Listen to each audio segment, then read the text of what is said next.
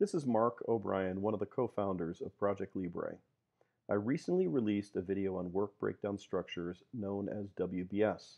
This video is about the complementary resource breakdown structure referred ongoing as RBS.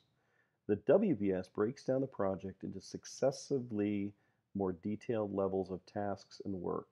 I refer you, refer you back to the view the WBS video and how the costs roll up and can be an important tool for managing projects and variance within projects. The RBS is also an important tool for managing projects. It pivots the view and perspective from the performance of the project based on work, from a summary to whatever level of detail desired, down to the elemental work packages. The RBS pivots this to oversight, management, and evaluation of the project based on the resources on the project. It once again is structured as needed and probably more of an internal management perspective as the WBS can be used to communicate with stakeholders or customers potentially. The RBS gives equivalent insight into performance, but based on the resources, cascading from overall resource summary and broken down as appropriate to certain levels of detail. This could be, as in this example, as you will see, resources based on groups, so we can view the performance of, let's say, software teams, testing teams, marketing teams. It also allows a similar analysis of the planned cost or baseline cost versus the actual cost with the variance. It is another important tool for the project managers and executives to assess the execution of the plan and potential variance. It can be a very effective way to isolate where scope may have been misunderstood, inadequately planned, or execution is lagging. Let's take a look at how this is done in Project Libre. On the menu bar, let's click over on the resource menu. And uh, if you've been using Project Libre, you'll notice the icons change when I do so. And let's take a look at the resource pool. I've entered a series of resources here, and to explain, there's no indentation structure here. So similar to the work breakdown structure, it does not summarize up uh, either for cost or schedule or planned and variances, etc. So we'll do that. I've also entered an RBS code structure here. That's less to do with Project Libre and more to do if you're importing or integrating, for instance, with a cost accounting system. And on these resources, we have a work type for the resources. I've put rates in for them. Cost per use is interesting, normally associated with material resources. But for instance, if Connor has a cost per use for maybe transportation, you can put that in there. And you can also accrue costs, and this is important in the resource breakdown structure, prorated across the duration of the activity, or in fact, uh, front loaded at the start of the activity, or uh, numerous other ways, but for instance, at the end of the activity when it finishes, and we can have different calendars on the different resources. If I click on the RBS, you'll see that it's flat. There are costs in here, but there's no budget and there's no variance established there uh, because we haven't set the indentation structure.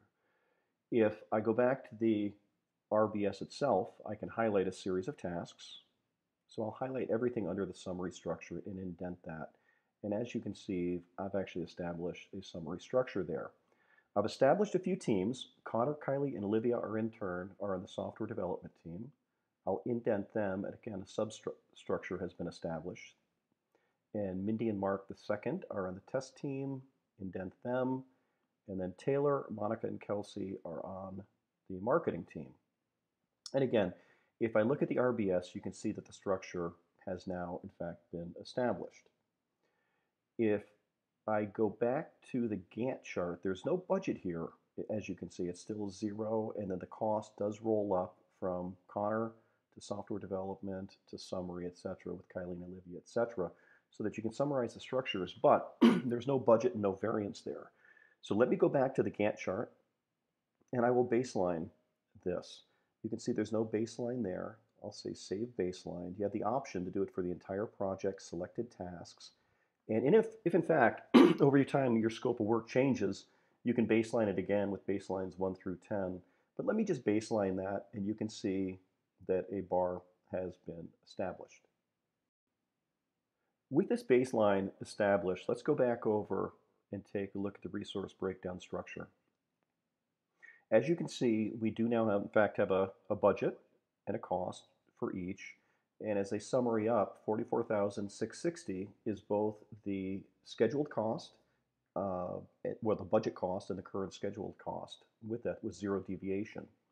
If we do go back to the Gantt chart, we can change durations a number of ways, but let me go into design and say design is 15 days long, and you can see that that duration on the bar changes. I can also come over to testing, for instance, and just extend that bar by grabbing the end of it and extending it. So what we've done here, and since I've modified these sections, let me summarize hardware and the rollout plan, okay? And if I go back to the resource breakdown structure, not only are those other areas summarized, but you can see there's a deviation. The budget was 16,000 for this for Connor, and the current cost is 20,000. Olivia, 6270. Mindy was 5,000, and roughly now it's it's 8,000. So you can see as it rolls up to the test team, there's a deviation. Same with a software development team. We have a difference between the budget and the cost, and both of those teams roll up with a delta for the entire project summary. The RBS, or Resource Breakdown Structure, is an important tool for managing projects. We recommend the utilization of both the resource breakdown and work breakdown structures in managing your projects and measuring the performance, progress, and variance. The WBS is an excellent tool for sharing with stakeholders and potentially customers, where the RBS is more for internal analysis and decision making. We hope this was a helpful video and ask for your help to promote this video and subscribe to this YouTube channel. Also be active with Project Libre on social media. We are at hashtag Project Libre on Twitter and also have a Facebook account where you can find links on our homepage along with social media. Please promote us in the project management groups and geographies. There are many PMI chapters and project management uh, meetups. The project management team works very hard to provide Project Libre for free and open source. Your assistance in promoting is very large. So thank you very much. Click back for, check back for more videos. You can join the community on our homepage, www.projectlibre.com, or if you scroll to the bottom, you can see in the various locales around the world how many downloads are there. You can also ask, access our Facebook page, our YouTube channel, Twitter, or email us. Thank you very much, and we hope this was helpful.